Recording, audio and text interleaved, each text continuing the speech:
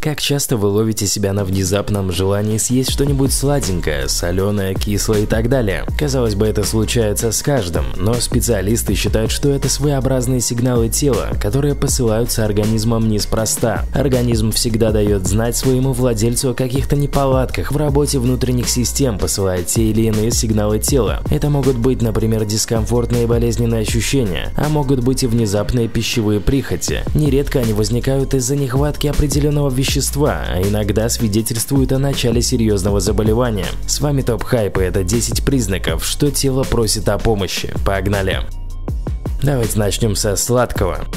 Одно дело съесть 2-3 кусочка шоколадной плитки, и совсем другое съесть целую и не насытиться. Некоторые специалисты полагают, что чрезмерная тяга к сладкому свидетельствует о дисгормональных нарушениях и требует соответствующей коррекции. Очень многие используют шоколад как антидепрессант. Этот продукт содержит алканоиды, повышающие уровень серотонина в организме. Обратите внимание на свое психологическое состояние. Возможно, налегая на шоколад, вы пытаетесь заесть серьезные проблемы. Избыточная тяга к сладкому часто появляется в ответ на эмоциональную неудовлетворенность. Это бессознательное желание сделать себе подарок и поднять настроение. Если не разобраться вовремя в своих чувствах, можно очень быстро набрать лишние килограммы. Некоторые специалисты полагают также, что сладкого хочется организму чрезмерно зараженному. Тяга к соленому.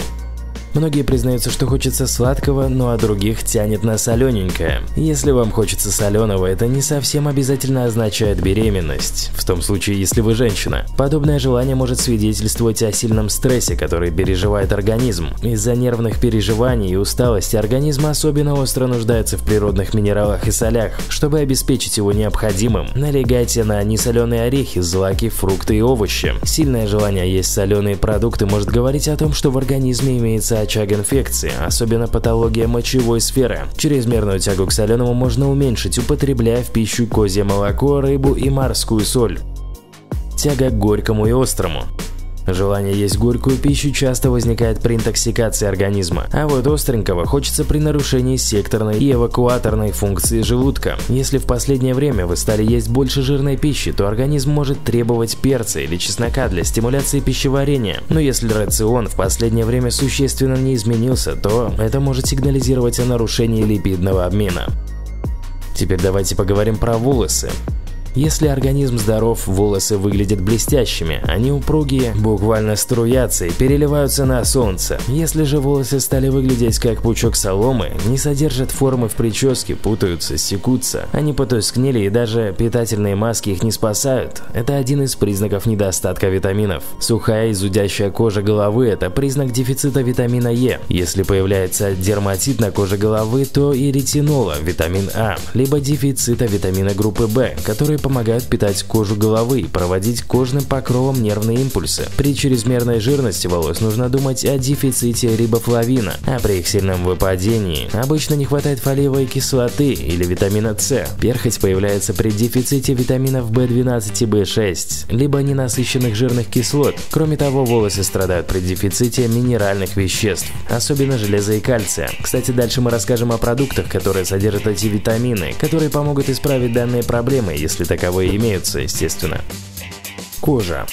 Кожные покровы – это вообще зеркало витаминного дефицита. На них отражаются появление нехватки почти всех веществ, относимым так или иначе к витаминным. Сухость кожи на лице, проявление морщинок, мелких и более крупных, бледность кожи – это следствие дефицита витаминов Е или А, никотиновой кислоты. Жирность кожи и ее шелушение может указывать на дефицит витамина В2. Угри и краснота пятнами – это дефицит жирных кислот вместе с ними и жирорастворимых витаминов. Если чистые аллергические и другие виды дерматита дерматитов – это проблема с витаминами группы В и биотином. При его дефиците также могут быть проявления гиперпигментации на коже, появление коричневых пятен и родинок. Кстати, перед тем, как мы перейдем к продуктам, которые помогут избавиться от этих проблем, напишите в комменты, употребляете вы какие-либо витамины или нет. Ну а сейчас самые ядерные продукты, которые помогут избавиться от любых проблем с кожей, ногтями или волосами.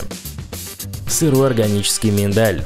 Миндальные орешки богаты витамином Е, натуральными антиоксидантами, белком, который способствует синтезу коллагена. Кроме этого, миндаль отличный источник кальция, который незаменим для наших зубов, ногтей, костей и волос. В отличие от окисляющего кэшью или арахиса, который фактически относится к бобовым, миндаль обладает еще и щелочным действием. А как известно, щелочные продукты способствуют детоксификации организма, поддержанию нормального уровня pH, предотвращают воспаление и повышают иммунитет. И еще миндаль богат биотином, витамином группы В, который укрепляет ногти и волосы. Старайтесь выбирать сырые органические орешки или миндальную пасту. Обжаренный миндаль уже обладает окисляющими свойствами, а неорганические орехи часто содержат пестициды и опасные химикаты. Сырые же наоборот богаты энзимами, которые улучшают усвоение питательных элементов и пищеварение в целом.